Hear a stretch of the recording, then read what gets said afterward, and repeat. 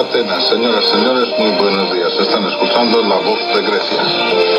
Después de dos meses y medio, los estudiantes regresan a las escuelas primarias y jardines de infancia, mientras que las guarderías de bebés y jardines de infancia se vuelven a abrir, las escuelas de educación especial de todos los niveles, centros creativos de empleo y escuelas de idiomas extranjeros.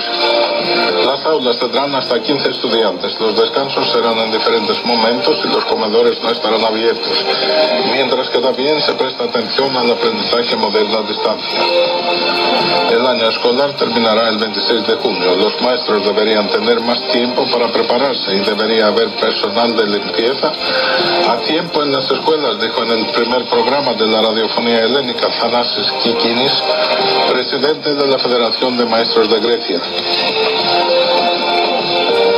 nuevos protocolos de salud volverán a abrir por la mañana los hoteles de 12 meses, así como eh, una variedad de negocios como áreas para acampar, excepto para niños, eventos de negocios y catering, cines de verano, piscinas y bibliotecas, como parte de relajación de las medidas de emergencia para la pandemia. El levantamiento completo de todas las medidas restrictivas está programado para el 15 de junio, cuando se abrirán los alojamientos turísticos y los hoteles de temporada.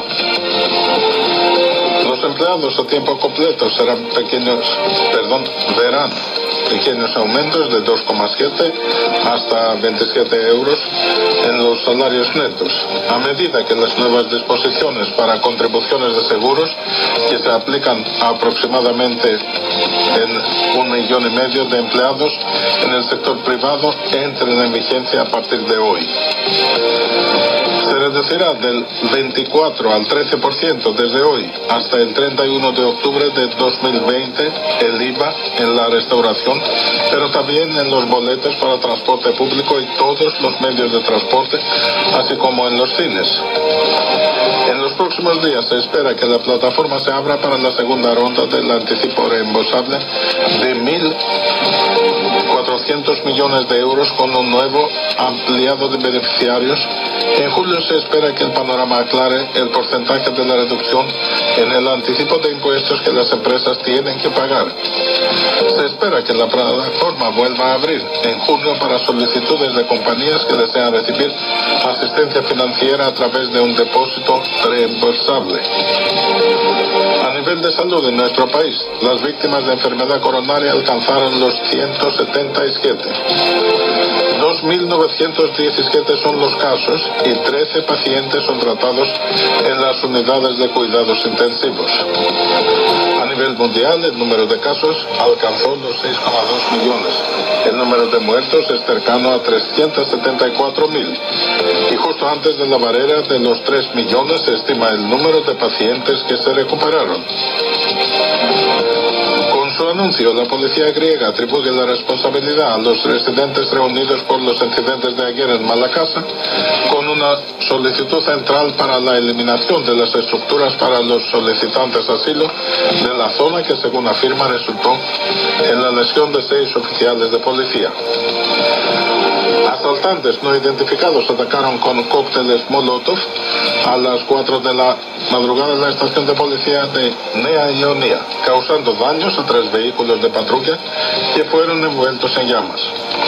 Hoy se espera que los siete arrestados después de la marcha en motocicletas fuera del Palacio Máximos serán llevados a la fiscalía.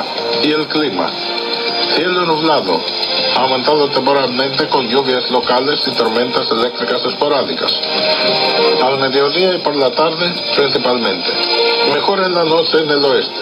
En Ática, lluvias locales y tormentas eléctricas aisladas. De 11 hasta los 25 grados la temperatura. Escenario de clima similar en Salónica. De los 13 hasta los 24 grados la temperatura. Queridos oyentes, eso ha sido todo por hoy. Aquí damos por terminado nuestro boletín informativo de La Voz de Grecia. Nuestro próximo encuentro mañana a esa misma hora. Desde Atenas, adiós y hasta mañana. Εδώ Αθήνα, η φωνή της Ελλάδας.